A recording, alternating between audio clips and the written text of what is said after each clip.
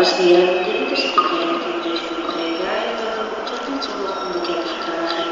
Als eerste vertrekt in richting Breda de Intercity naar doorweg Breda en Venlo vertrekt bij 8 uur 18 van spoor 4. Herhaling, de Intercity direct naar Breda heeft het tot nu toe nog onbekend vertraging. Als eerste vertrekt in de richting Breda, Intercity naar doorweg Breda en Venlo van 8 uur 18.